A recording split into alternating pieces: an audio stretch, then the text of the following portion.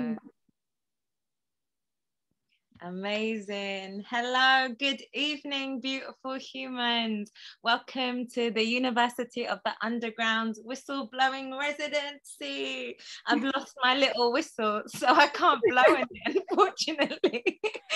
but hey, and I can't actually whistle either, so I shouldn't be heading this program. Um, so I am Dr. Aditi Jagannathan, and I am many things a writer, a dreamer, um, yeah, a, a, an, an activist, uh, a warrior, a lover, a fighter, many different things, many contradictory things. um, but I am here to, yeah, to facilitate a beautiful conversation with the incredible Vasundhara Mathur, who is who's just phenomenal you know um, her her work encompasses many many different things. But what kind of compels me about the work that she does is that it's driven from from a place of justice but justice underpinned and rooted in a profound revolutionary love. Um, and that is you know it makes my heart strong it makes my heart skip a beat and it mm-hmm. makes me very very inspired um, so I'm going to give you a little bit of context as to who Vasundhara is and the work that she does, the creative polymath that she is. so Vasundhara is an artist, a writer, and researcher based in South London. Her work explores creative interventions into archives of activists, artists, and dreamers of all kinds. She addresses questions of the radical imagination, belonging, hospitality, correspondence, placemaking, and community organizing. Vasundhara is a bit of a clever clog.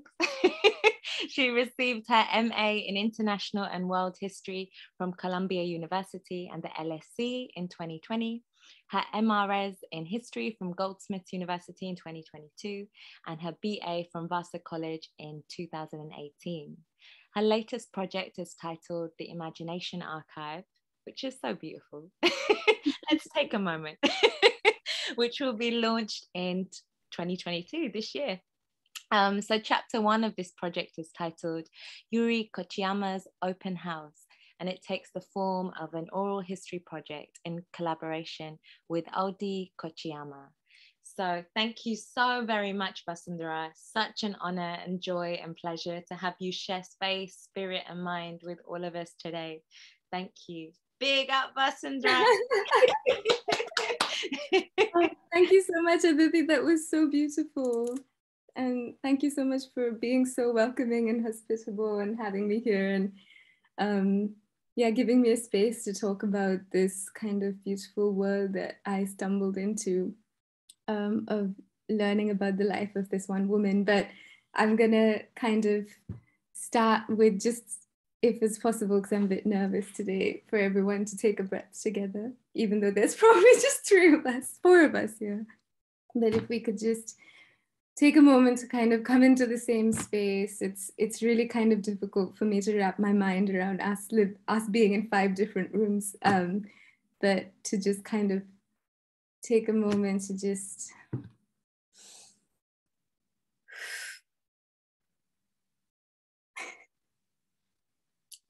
um, and yeah thank you so much for that beautiful introduction aditi. Um, I'm gonna um, start by um, actually, I just want to say I've known about this university since its very inception because one of my best friends from college, Ryan, was part of the first class. And I remember because I, I was one year behind him in school, I would just log, you know, message him and he was like, I'm a, every day was a different day. It was almost like he was participating in some um, arts themed TV show. Like I was like, what do you mean you're at the opera today and you're living on a boat tomorrow? And what do you, it was just the most incredible kind of learning environment. And I think it's such a beautiful experiment. Um, and it's just really incredible to be in the same space as all of you. I feel like it's almost fate. So thank you so much for having me here. Um, I'm also going to be talking about kind of different spaces of learning um, that are that were revolutionary spaces that were imagined by people and were and became possible through um, people imagining otherwise and kind of thinking out of the box and coming together. Um, and so it's just such an honor to be here. Um, and I just want to say that if you all want to like intervene and make this more conversational at any point or share anything um, or just kind of convey that something I said is relevant to your work, um, I'm completely open to that. Uh, I don't want to just be talking at you either. So um, uh, yeah, I just wanted to say that this is a space for open conversation and for interruption and critique um, and love. So just feel free to interrupt me, basically. Um, and let me just try and share my screen. Um, there we go. Um, I can ooh, play.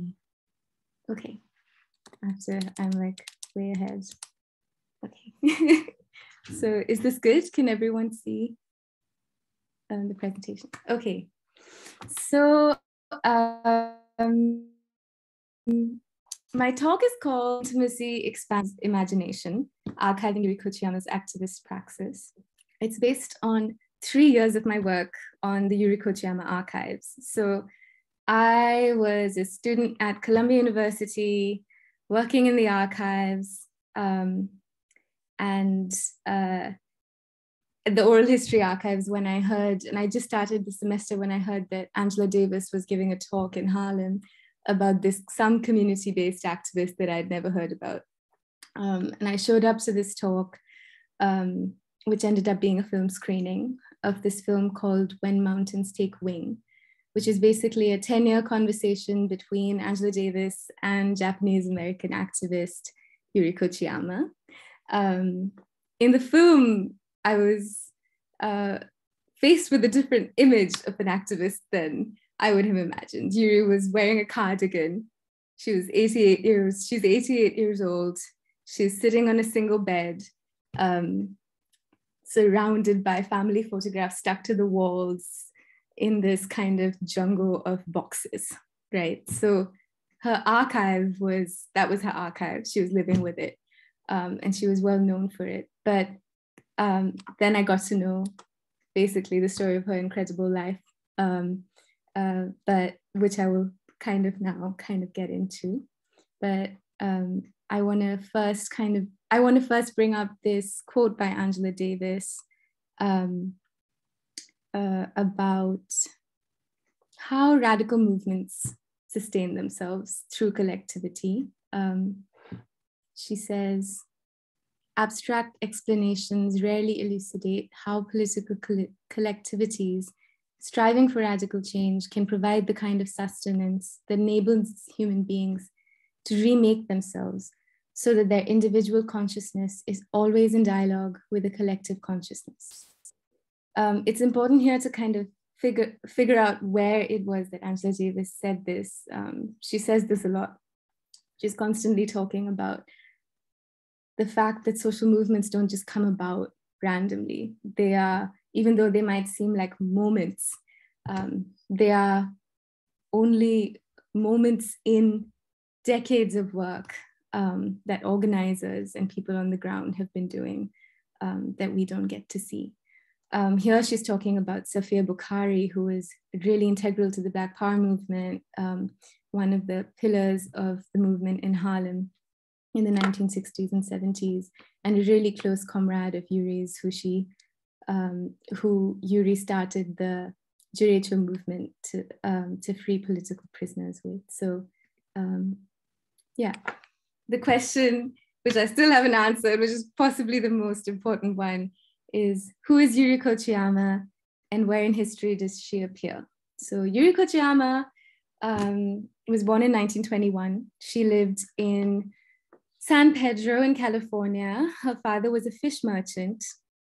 And like many fish merchants and fishermen uh, of Japanese descent, um, the day Pearl Harbor was bombed, he was arrested by the FBI um, and taken off um, uh, to a detention camp where he was then questioned um, about espionage uh, while his family waited, not knowing where he was. Um, he just had um, a surgery, and unfortunately, because of the way that he was treated by the FBI, he succumbed and um, lost his life. So Yuri's first interaction with the FBI was the death of her father. Um, this was followed by the or the executive order that all Jap- all Americans of Japanese descent or people of Japanese descent from the West Coast were then taken to assembly centers and then to internment camps. So Yuri's story as a political activist, even though she she doesn't agree to this, she always says she was red, white, and blue before the war um, started during the Japanese internment. Um, now, Yuri emerged in the internment camps as a letter writer primarily. Um, she started teaching at Sunday schools in the camps and um, basically uh, would spend, started these letter writing campaigns to Japanese soldiers who were at war. So for America, Japanese American soldiers who were at war um, to kind of keep their morale up. Um, she used to spend her monthly salary on 800 postcards a month. So between her and this group that she assembled that she called the Crusaders, funnily enough, um, she was sending thousands of letters back and forth, um, creating what was in essence an energy field of joy amidst absolute times of separation and loss and anxiety and entrapment. Um, and this is something that she would continue for the rest of her life. Um, and so, energy field of joy, exactly. So, kind of tracking back to my interaction with the Yuri Kochiyama archive, I had a very unique experience because usually when you go into an archive, you're given this list of things that are in the archive with dates next to them, file numbers, and you get to pick a few that you you know have the opportunity to look at. You go into this room, it's completely beige or uh, with fluorescent lighting, and you have to wear these blue gloves and try not to make too much noise when the paper moves. um, but I was given the key to the eighth floor of the Columbia University Library, which to the section of the library called the cage, um, which was the restricted section. So the Yuri Kochiyama collection had not been um, had not been archived yet, and I had spent probably three months trying to convince them to let me have access to it, um, and finagled my way into a job. Um, my job was to empty the boxes figure out if figure out what was there. So basically to conduct a very preliminary um, indexing process of the archive. Um, it was an incredibly privileged and lucky position to have, but it really um, kind of allowed me to radically have a very um, intimate experience with the archive. I had no idea what I would find in one box after the other. There was no differentiation between the personal and the political, between 1941 and 1976. There were, you know, everything was mixed up. Um, there were love letters in the same file as letters to the police department, kind of defending people who had been arrested. There were, you know, so it was a completely different orientation that I had to have towards the archive. But what emerged was also a different historical possibility for me. It was the ability to trace Yuri's practice. So, Yuri's activist praxis. Instead of thinking about a particular moment in time or kind of trying to nail her history down, I was given the opportunity to kind of figure out or engage in the poetics of what her daily life was like um, and kind of try and unpack what she was like, what her presence made possible for other people, um, which is where the title of this talk really comes from. You know, it stems from my intimacy with her and how it enlarged my imagination of what politics can be. But her archive is an archive of intimacy. It's the archive of how the movement, the movement here I'm talking is about is like the intimacies between all these different movements, how they were built on intimacy and friendship and care and um, how the commingling of all these different energies allowed for um, these particular moments of the 1960s and 70s that we know so well. So um, that's kind of where this idea comes from. But to situate Yuri in Harlem, I'm going to read a little bit from my writing. Um, so I can ask again who is Yuri Kochiyama and where in history does she appear? Um, trying to close this chat box, but it's in the middle of my screen. Can't see it, but that's fine. Um, ooh, managed to change the thing. Okay. Um, so on Malcolm X Boulevard at the address 125th and Lenox, today exists a Starbucks. But from 1903 to 1983, at that very spot, there existed an ice cream shop um, with bright shining lights and a menu replete with complex recipes of overly sweet ice cream sundaes. Thomford's was where Harlem's radicals got their ice cream fix. Um, a longtime waitress at Thomford's, Yuri Kochiyama remembers Malcolm X holding court over banana splits. The slightly middle-aged, always energetic waitress was known well around this part of town. Almost every customer who walked in walked straight up to Yuri Kochiyama. Notepad in one hand, pencil behind her ear, she whizzed around, taking orders for urgent movement information to pass on with a side of ice cream. Jamal Joseph, one of the youngest members of the Black Panther Party and the youngest of the Panther 21, um, recalled Yuri slyly slipping him tuna sandwiches when times were rough. In the absence of phone or email, the budding Harlem activist had begun to function as the quote, internet of the movement. The establishments she worked at at Harlem became movement communication centers, and her sharp memory, accessibility, organization skills, and vast network became a reliable and much needed resource for Black, Asian, and Puerto Rican movements taking place in the revolutionary era of the 1960s and 70s.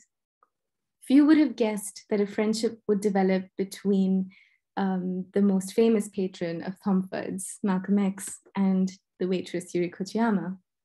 And a few years later, a mural would be painted at the same spot commemorating their relationship.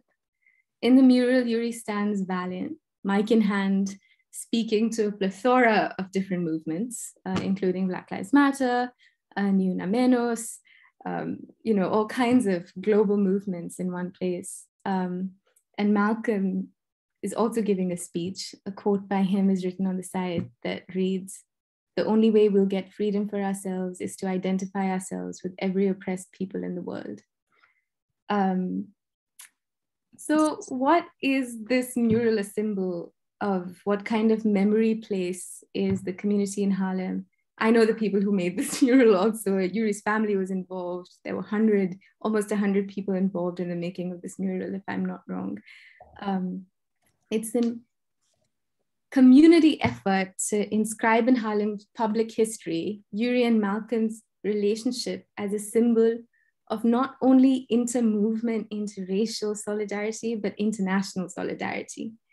Um, and this is not a coincidence. Um, Yuri and Malcolm became friends at a very particular time of his life, 1964, when he was traveling the world um, and starting to kind of move towards what people have called his radical internationalism, radical Black internationalism. Um, right before he began his travels, I think in the middle of his travels, Yuri Kochiyama invited him to speak to victims of the of the of nuclear bombs in her house. So uh,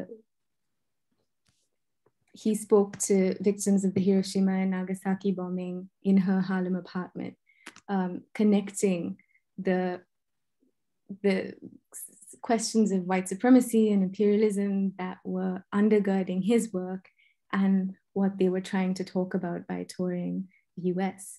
Um, and so Yuri kind of became the symbol of internationalism for Malcolm, when he left her house, he promised that he would write her family um, postcards. And she's famous for having received these 11 postcards from Malcolm from eight different countries with messages such as, You have the most beautiful family in Harlem. And, um, you know, I'll, I'm, you know, he's basically his describing his travels in this really romantic sense sense and writing home to what was basically started being called Yuri's house, which started being called the uh, Grand Central Station of the movement. So this Yuri's apartment um, also becomes like this really important space, an example of what internationalism in Harlem looked like. Um, this is one of Malcolm's postcards um, to Yuri. Um, uh, and so to understand what Yuri did in Harlem and what made her politics so radical is to understand her radical hospitality.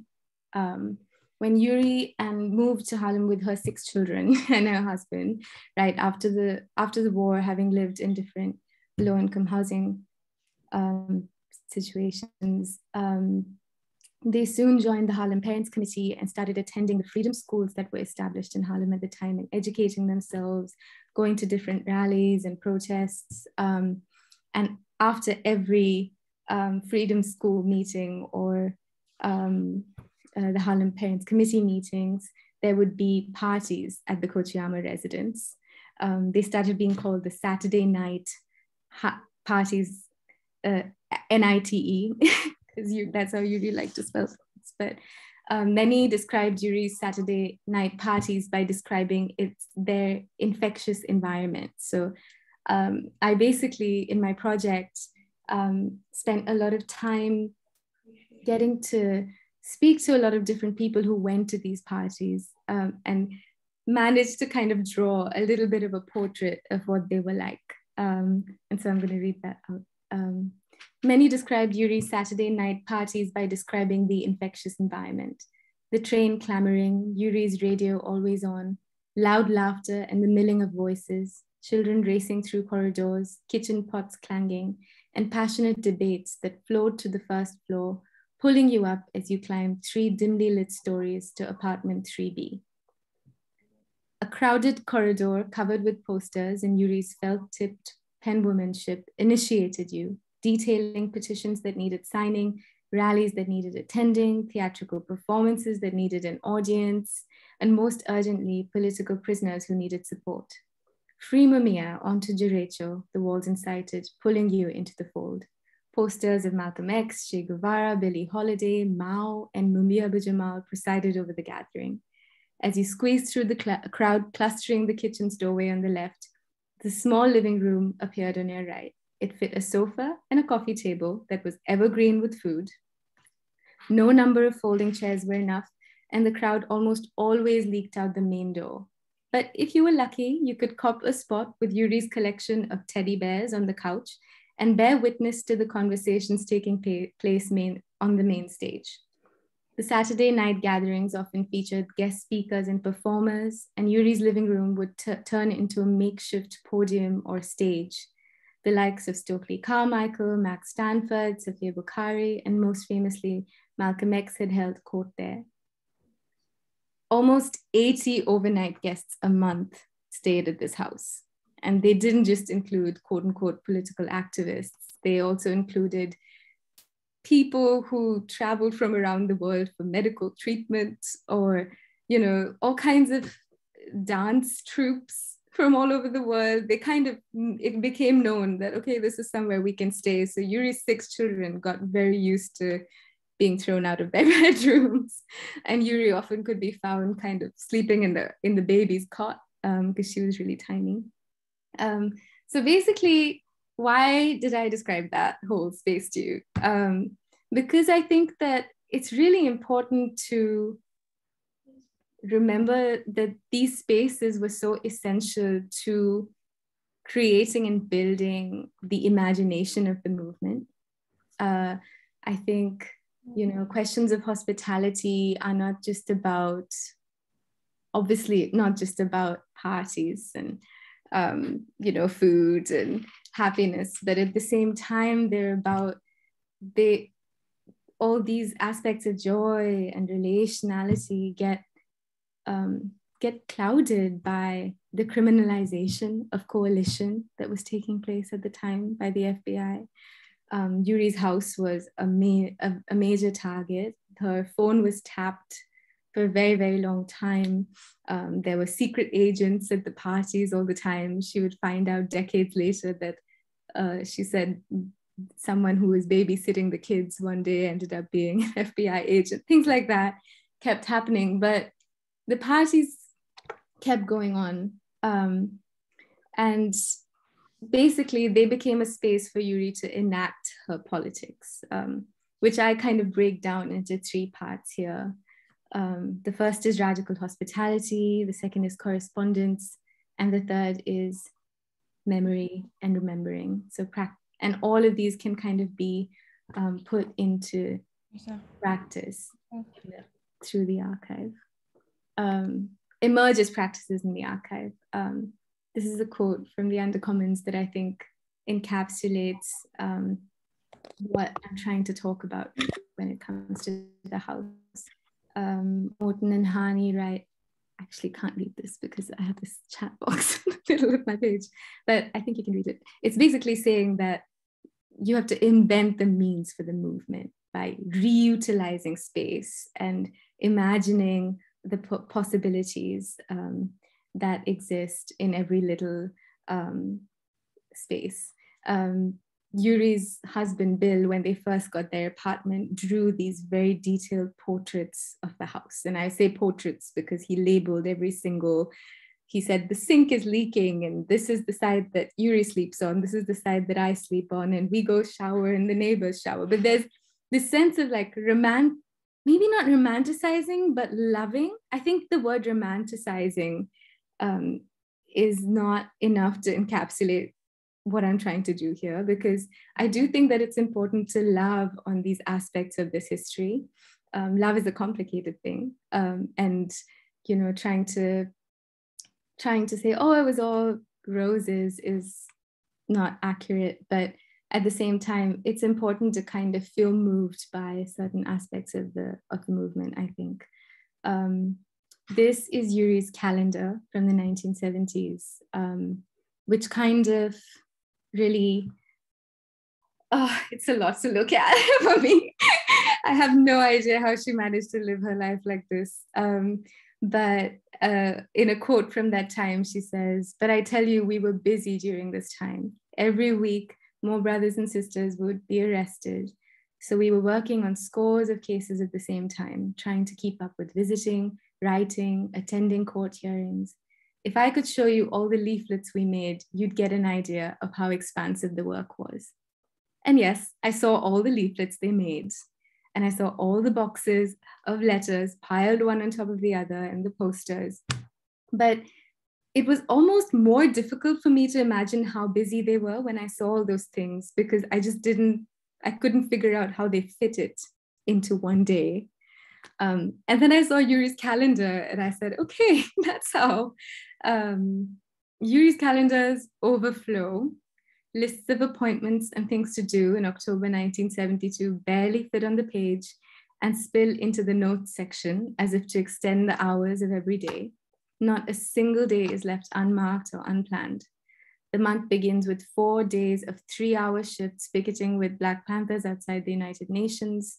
Saturday, the 7th, is di divided between Asian Americans for Action and ends with an all day plus night meeting um, of another organization there's an anti-war rally that ends with an open house where one can imagine all of Yuri's acquaintances from the week from all these different movements coming together and talking to each other. And that's really, you know, what I could start to picture happening when I saw this um, calendar.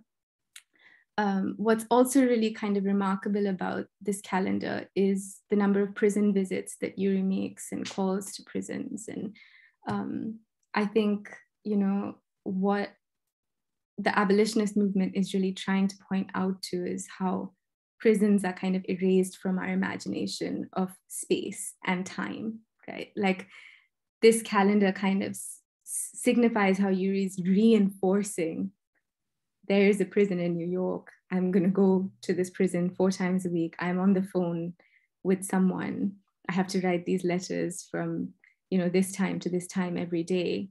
Um, and, you know, that I think is something that is visually um, apparent over here in a way that's quite unique um, and really kind of shifts your shifts your perspective um, in a radical way. I think. Um, also, the visible and invisible aspects of Yuri's activism to support uh, political prisoners appears as equally important in the calendar. So people often say that, oh, you know, Yuri was an organizer of the movement was a movement organizer that's the important part of the work or you know now she's holding a mic but there's kind of this sense that like activism involves both you know there is this this responsibility for you to engage in this rounded sense of the movement um, uh, the other thing that I think is really incredible about this calendar is that on several occasions in the calendar, Yuri talks about healing work. So Yuri was a Reiki practitioner and had a few students here and there. But in the in this calendar, she's she wrote many flyers to alert community members, especially about the physical health of those in prisons. So she um, she would often say, okay, this person is really sick, so we need to act urgently. This is what's happening. This is what we need to do. And she was the point of contact um, to convey to the movement that someone's ill. Um, so in the calendar, as well as the well-being and health of her comrades appears in her list of responsibilities. On the 31st, she takes someone with her to Mutulu Shakur's Lincoln Detox Center, and also reminds herself to draft writing about someone with asthma and back pain at um, at Mount Morris Park. So she's kind of um, oh thank you Raz no worries.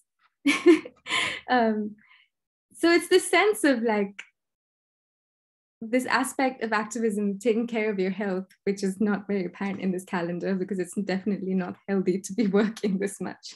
But the sense that like you're you know the health of the of your comrades is a really important aspect of your activism comes forth. Um, but the last thing that i kind of want to point to in the calendar is that the movement appears in human form. Yuri's doing everything with someone else. She's either visiting someone or going somewhere with other people. Um, she's writing to someone she's calling someone she's talking about someone. So all of yuri's activist work requires contact communication and collaboration. Um, the movement, um, Yuri's calendar records not just that she contributed to the sustenance of the movement and the radical commons, but how acts of commoning sustained her. Because you're not just seeing that she's giving energy to other people, but the only way that she could possibly get through these weeks is if that she was she was getting some kind of sustenance from where she was going. So um, is everyone with me? Are we like, are we good? Yeah. So um, we're kind of coming to this point of trying to understand what radical hospitality um, really means in a very expanded sense.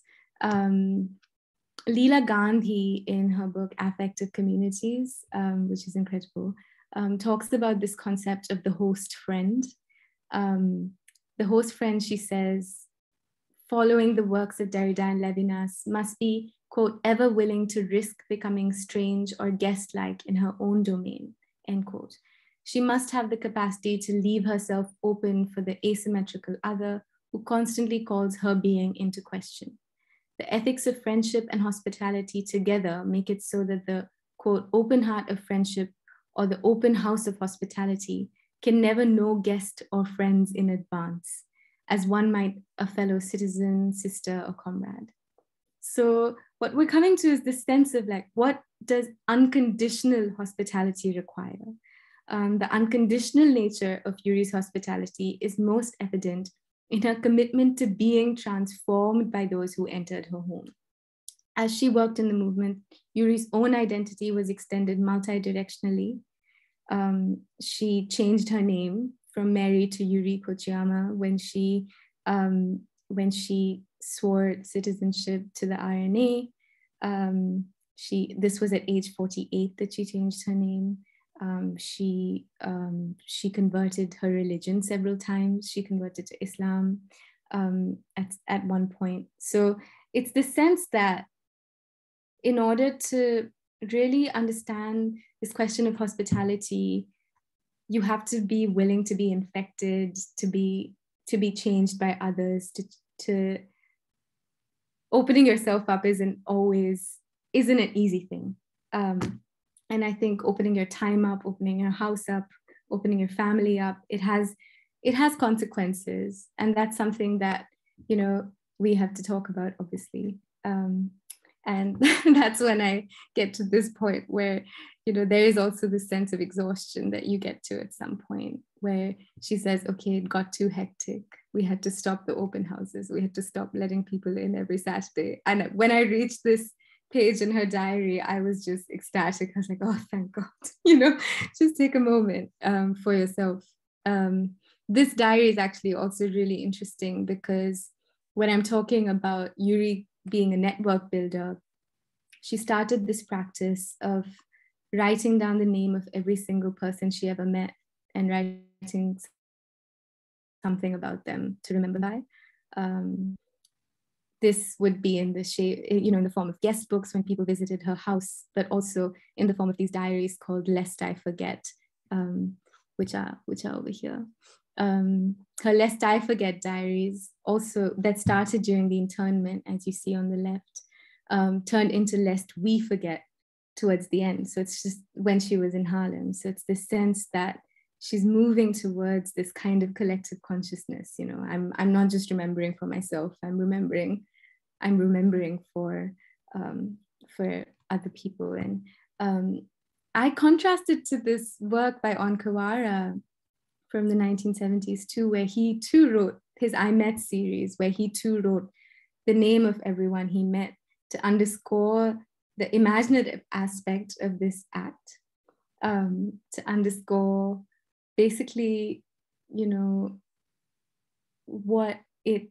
the light it sheds on Yuri's practice, you know. She wasn't just writing down the names of people who were quote unquote relevant to her she was imagining ways in which she could relate to every single person, even if they weren't obviously relevant to her. And this this resulted in the collectivity that she was able to establish being one that was very deeply diverse and also, you know, included people that she didn't necessarily agree with. Um, so there.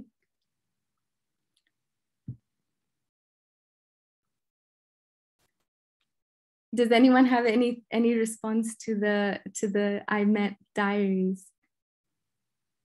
Yes, we were literally talking about this at the moment because I was showing my diary to Zoe and saying, mm-hmm. Zoe, good luck. You're gonna have to go through, you know, stuff like that. I think it's such a brilliant and lovely idea to do that, really.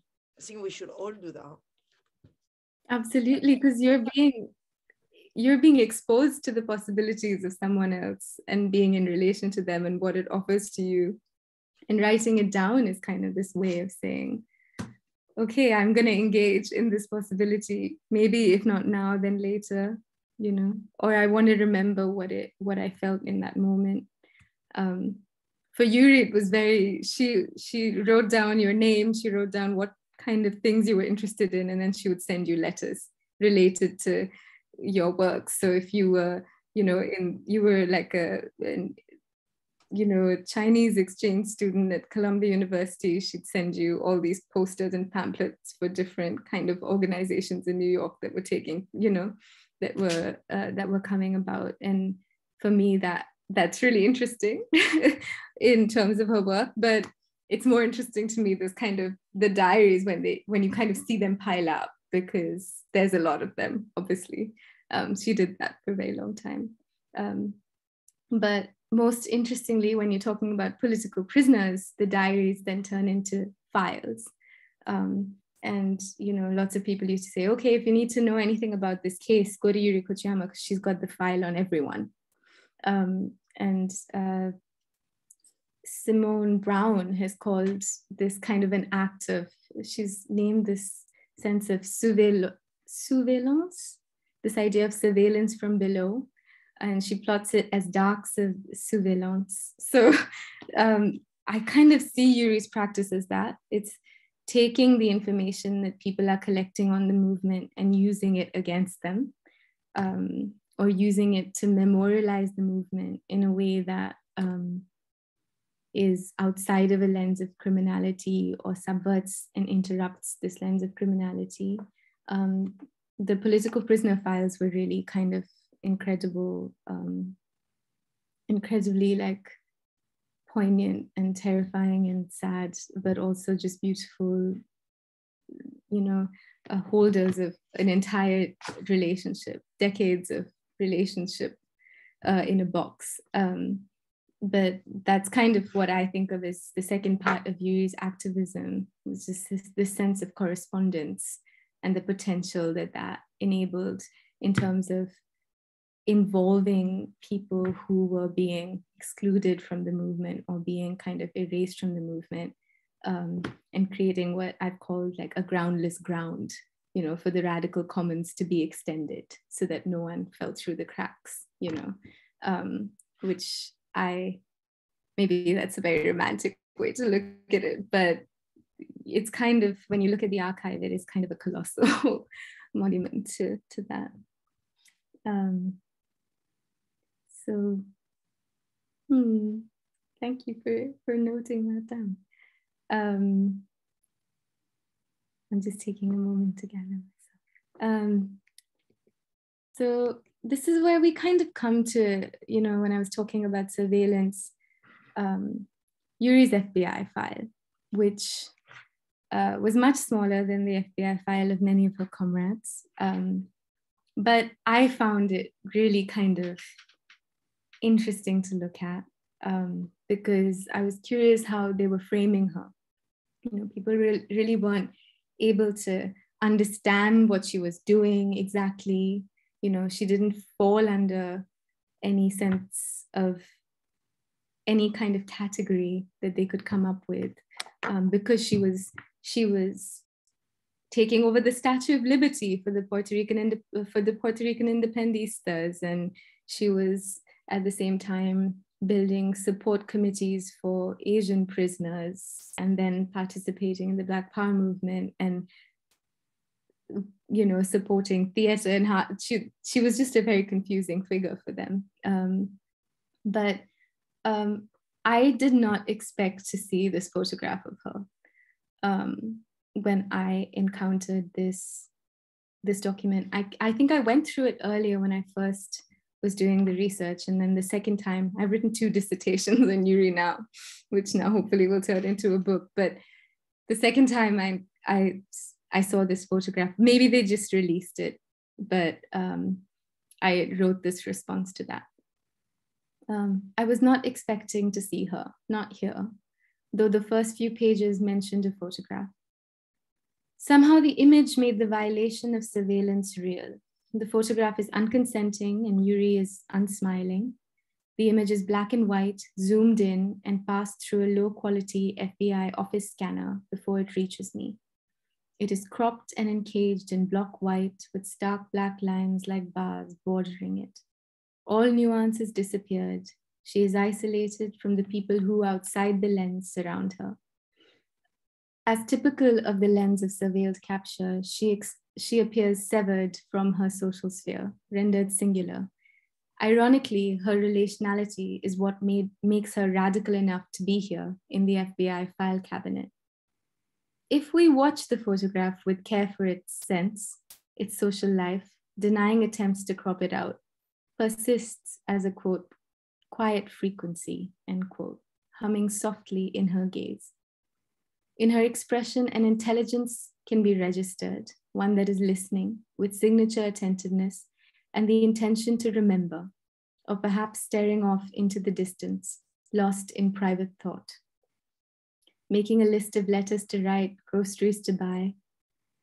When was this image taken? Was Yuri at home while Bill helped clear dishes in the kitchen, the children bunking together as usual to make room for guests, while a movement leader made a speech or voiced a manifesto over shared plates of takeout? Is this a zoomed in photograph of her televised arrest after unfurling the Puerto Rican flag and taking over the Statue of Liberty with the Youngbloods? Or was she listening to one of her actor friends succumb to her insistences and perform a soliloquy in the living room? Rather than her surroundings, the photograph is framed by handwritten text. This biometric information, attempting to make the photograph legible, a transparent record, places it firmly in the repressive genre of the mugshot, used by police in America as early as the 1850s for the quote, twinned purposes of identification and surveillance, end quote. Yuri's date of birth, her height, her weight, her phone number, her name before marriage, her sex, the color of her eyes, her complexion are all spelled out. Her race is listed as Oriental, all that is left as an identifier of the anonymous agent who is watching her is their slanted handwriting.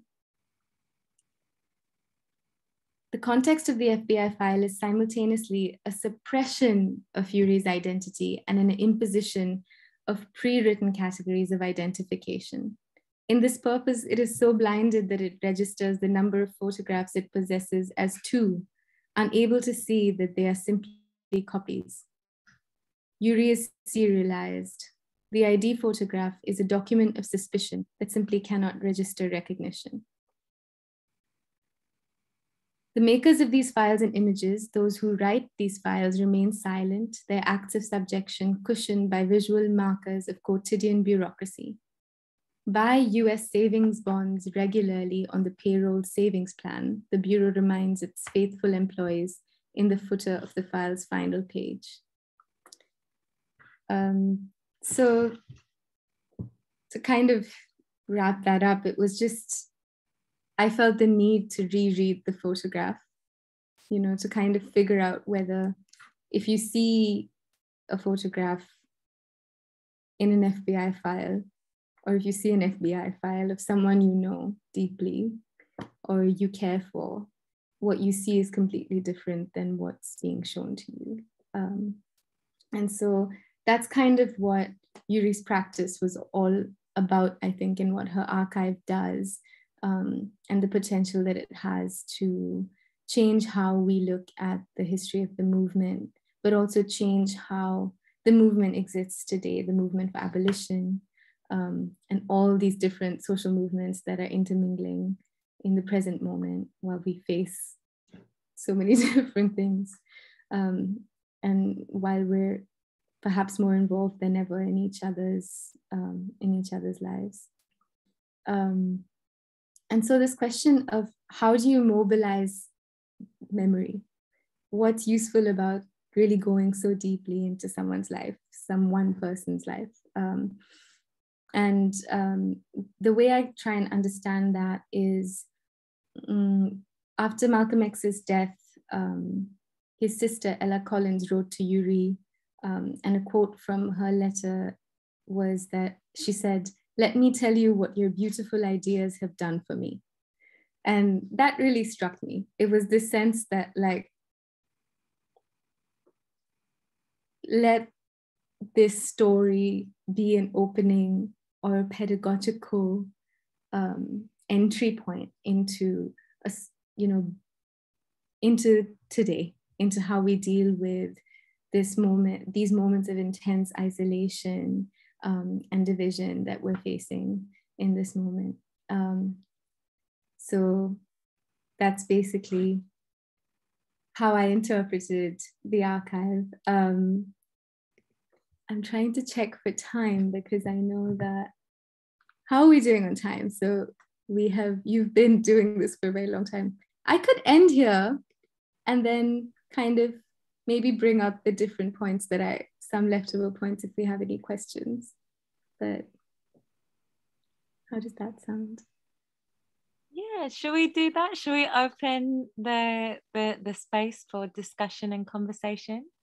Absolutely. I just wanted to share also that uh, a large part of my orientation towards this project is built on my relationship with Yuri's daughter, one that I established while I was working at the archives and um, continued through the pandemic. And I've now built a, an oral history project with her that you mentioned before, where I'm interviewing people that Yuri worked with, um, but also um, people who are kind of continuing the work that she did um, today. So it's this question of how the archive continues or how the archive is living um, and how to how it's important to collaborate with people that were actually deeply involved in Yuri's life and are, are invested in her memory. So yeah, that was also something that I just wanted to make sure to mention.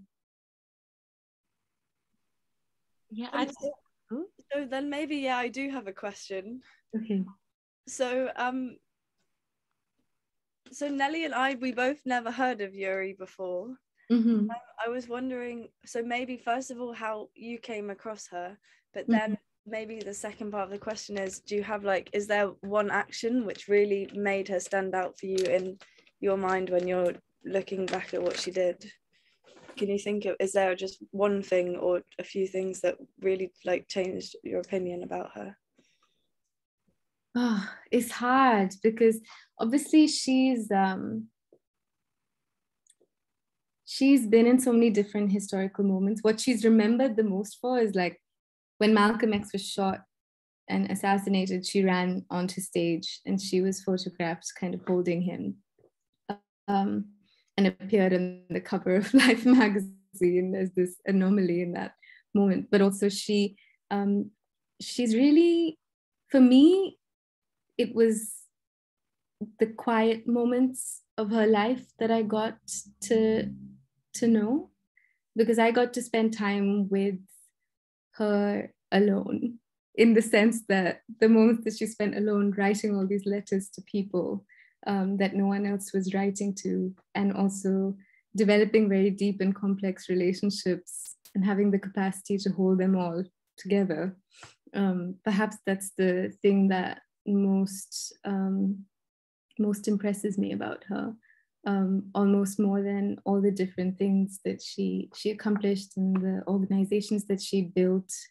um, because um, I just feel like this capacity to be in communion with so many people um, and the energy to do that uh, is really quite incredible. Um, so yeah i guess i don't know if that answers your question but in terms of how i came across her it was a funny story. I was asked to sing for angela davis uh, while i was in college a month before that. She came to give a talk at Basel where i was in school and then told me that she was giving a talk on yuri kochiyama um, or I, either she told me or i found out. Um, but we had a conversation about the history of social movements and like women and social movements and um, uh, then I, I went and heard Angela Davis talk about Yuri and came across this film and then started working on her archive at Columbia. Um, so it was a very, it was a very different way of meeting someone or coming across someone than um, is usual, I think.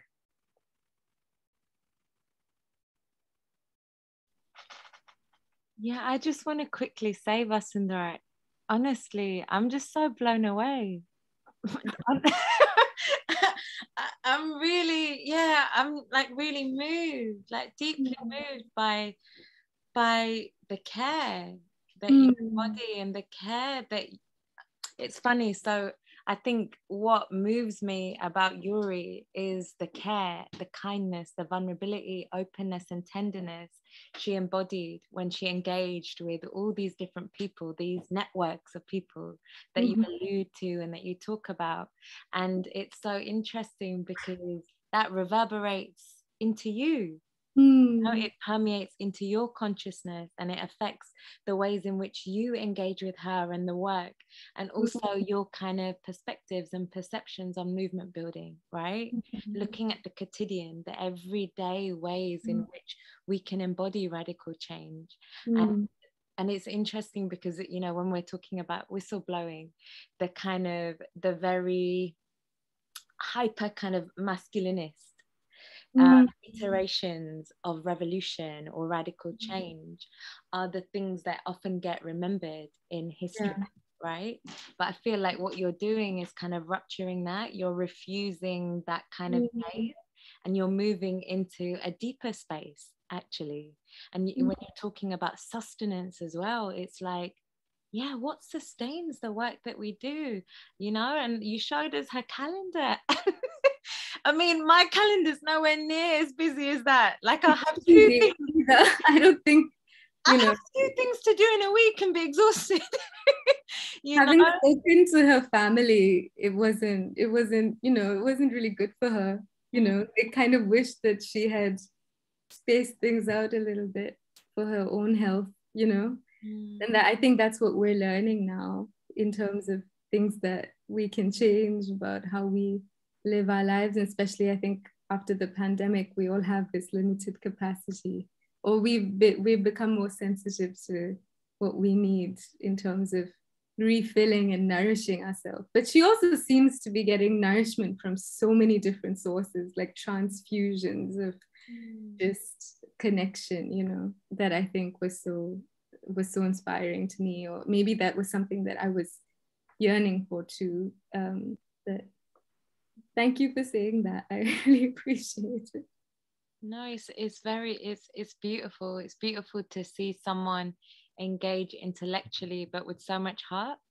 Mm. You know, um, it's it's very very rare. You know, yeah, it's, it's really it's really rare to kind of bear witness to, um, and that's why it's so precious. So, thank you, thank you so much.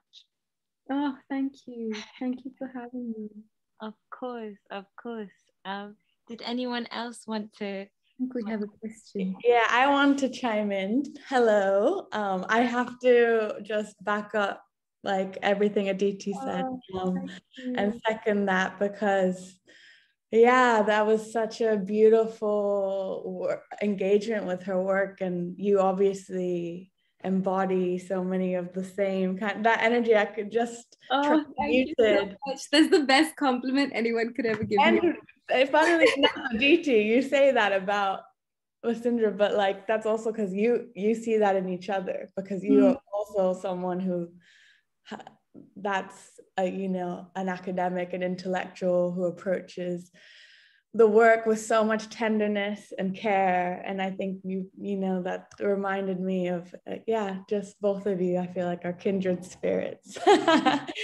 And yeah just um i just about i'd love to ask a question about the the care aspect because mm-hmm. um for me i i know i've known about yuri kochiyama for a while just because um actually through I, am of japanese descent hmm. um, mm-hmm. and i've always been interested in the intersection of community building of what allyship across the spectrum really looks like and yuri and people like grace lee boggs et cetera's work have always interested me and um, but the culture of how they care for themselves that conversation you know i feel like i've never really been able to hear here I, I, guess I, I think me and Aditi have talked about it like Angela Davis talks about her yeah her yoga practice or exactly. you know how she cooks for herself or these things but yeah who who cares for you when you care for everyone else? And like looking at that diary also gave me anxiety of like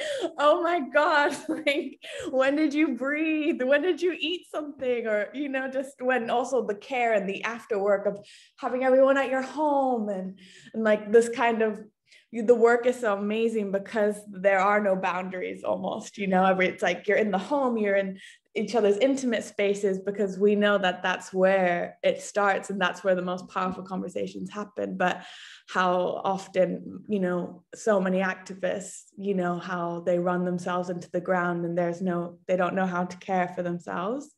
So the reiki thing i've never heard which i think is so interesting. So i would love if you knew anything more about that. I learned um, a lot about healing by reading the archive wow. so how I also in my podcast I'm going to interview um, one of Ke- Keisha Budridge, who was Reiki, who was Yuri's neighbor, and she was her first Reiki patient, and her granddaughter's best friend.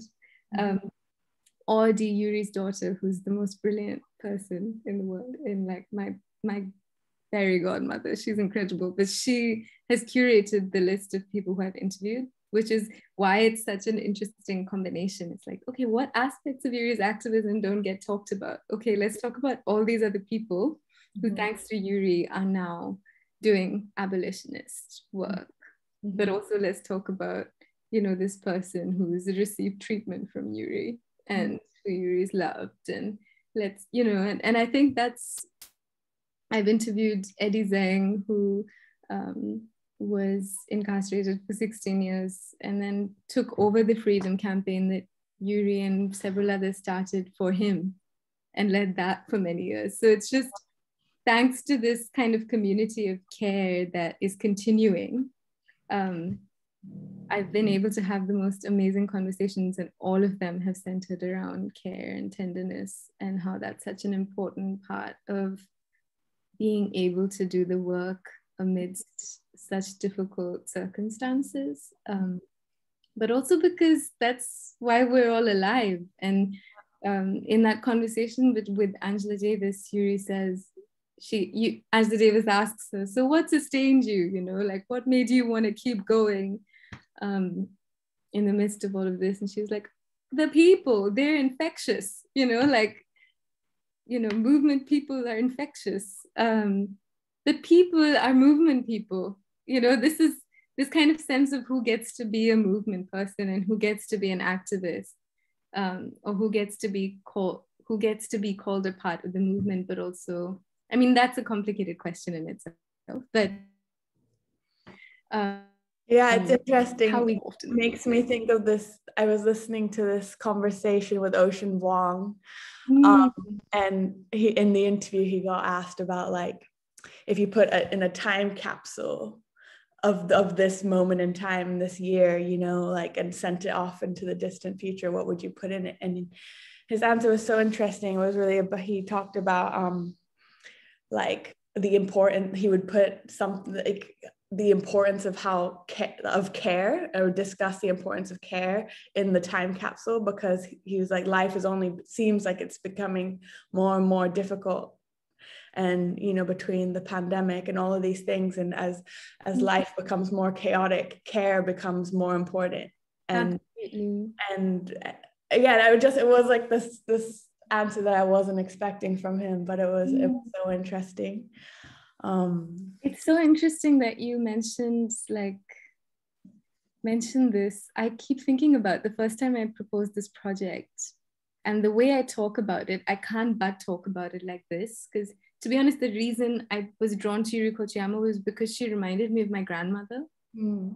You know, and my grandmother, she's just you know, she took care of us. That's what she did with her life. She took care of herself and she took care of us. But there was something about how she made you feel so special and important mm. that I always thought was deeply political. You know, that there was like deep political potential in yeah. in seeing someone for who they are, like for their special personhood, you know.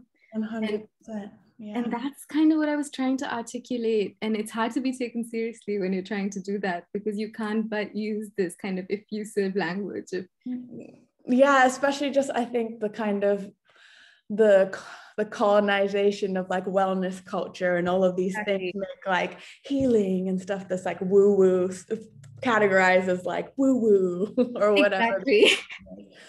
but yeah, you know, while you're while you're saying something, sorry, I'm talking. No, I, am loving it. While you're speaking, I, for me, why Yuri Kochiyama is so interesting is like, like, and still such a radical person because coming from a Japanese background, I was born and raised there. Like, mm-hmm. Yuri Kochiyama would still be radical now as a Japanese yeah. woman. Like as an American too. But but especially in Japan, and like, there's something about that the Japanese lens and context that like mm-hmm. like you know like we are taught to not speak you know, to never complain, to mm. never bring up, like to not be pro- quote unquote problematic, to make oneself small. Like that is so embedded into the culture. It's like, you know, the conversation on gender, sexuality, everything is still, uh, you know, I would almost say 50 years behind what we're mm. having, you know, as probably like it's, it's so deeply embedded still and like for her to have been who she was so fearless so vocal like mm-hmm. it's so it's so wild to me you know this was a very small pack of japanese women at the time of artists i was like even yoko ono or mm-hmm. yayoi kusama to that extent or just like that generation there was like I don't know. There, you know, there's a handful of women that, to me, as as a Japanese woman, I'm literally like, I still, you're still so. I can't even believe that even happened. You know. I can't believe that even happened too, and I think there's two things I would want to say to respond to that. It's like it's often people often say that the reason Yuri was able to do the work she did was because she made herself really small, and she made herself really quiet, and I often think she like, you know, but she didn't let people know that she knew, you know, or she she made it so that people felt really comfortable around her, you know, which is really the sense of like, is there only one way to be loud? Is there only one way to be, you know, take up space? Yeah, totally. exactly. And it, it's really interesting. I and in relation to what you're saying, because there were all those narratives, and then she kind of, you know, towards she, in, in all her letters, she's absolutely very vocal and she's very vocal in her practice, but just in her demeanor, you know, there was this sense that I got. Um, and then oh, the other thing I wanted to say, which now I've forgotten. I'll, I'll, I'll, think about it. Thank you so much. I would love to read your one thing and then the other thing, and then the other thing vanishes into the ether. It'll come out when it's supposed to. when it's ready. Thank you so much.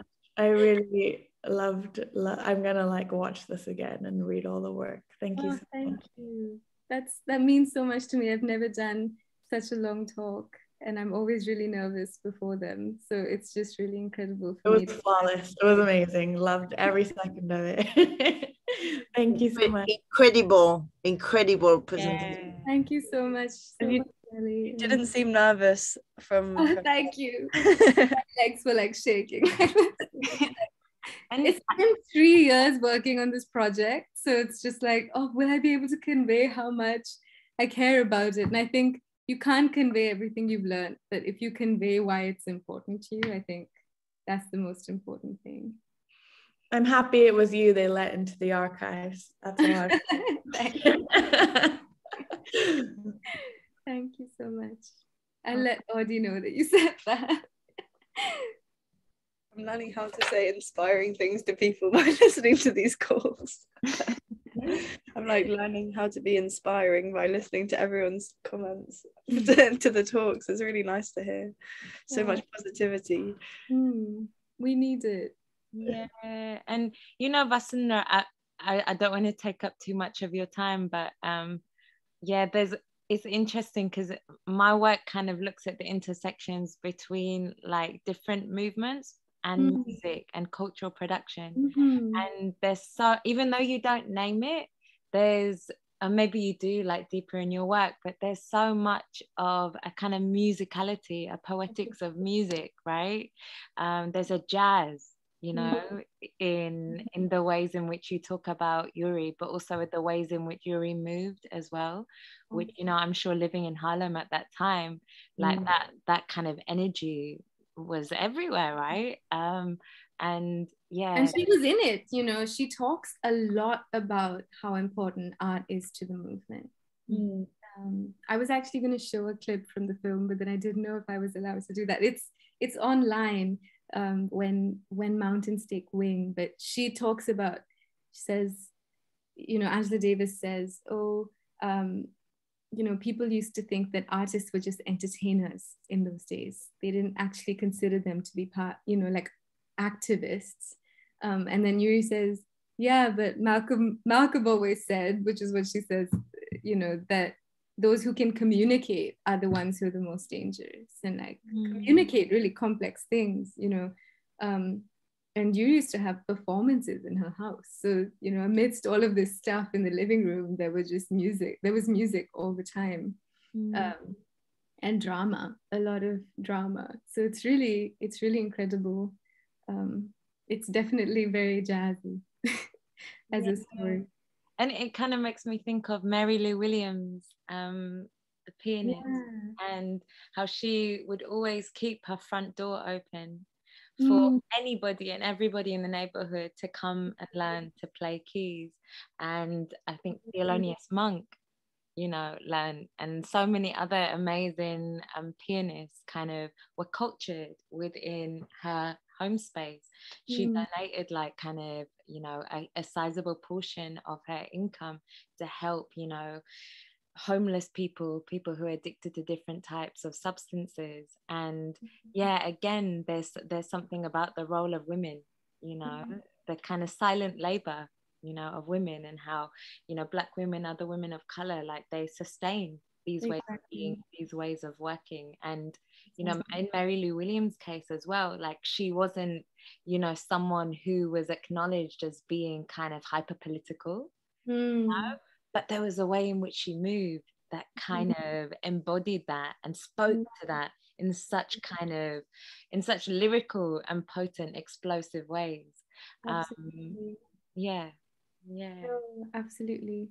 That's a, that's a, such a beautiful connection. And also, I mean, it's really important to say that Yuri's teachers were all Black women and how, you know, in terms of how to move around the movement, you know, Mhm. and how to get the movement to keep moving. Um, you know, they were doing the groundwork for years before dealing with the prison industrial complex and doing this emotional labor and also, that, you know, creating systems of, you know, of communication with political prisoners and being the, or just people who were incarcerated and being the connect, connecting points, you know. And that's deeply imaginative work to be able to imagine that people can come together in in you know a situation where there's the radical commons is being attacked is under constant attack you know that's a deeply imaginative act you know Oh, Vasundhara, I'm sure I can speak for all of us, like literally listen to you talk for days. you've got such a you've got such a beautiful voice as well. Very soothing. It is, thank you isn't it? thank you Yeah, and you've been singing since you were a baby. It makes so much sense. And your grandmother taught you, which also,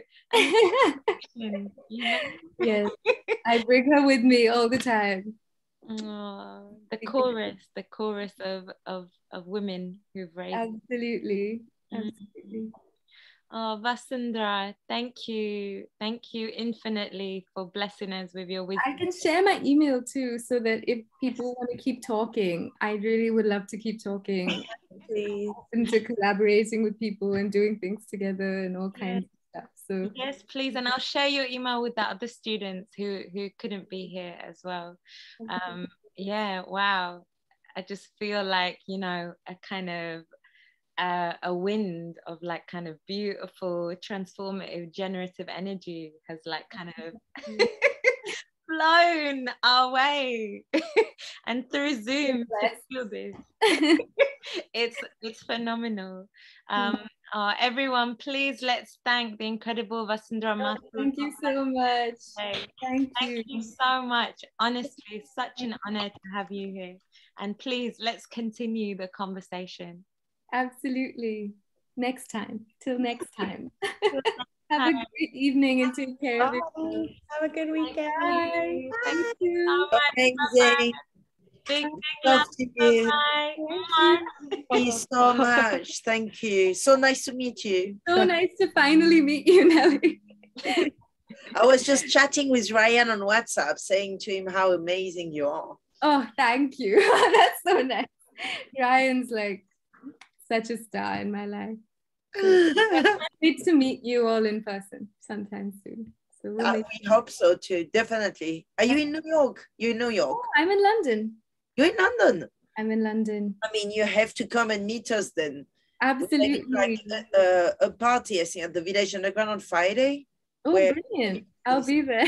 or next Friday. They're doing some kind of seeding uh, experiment up there.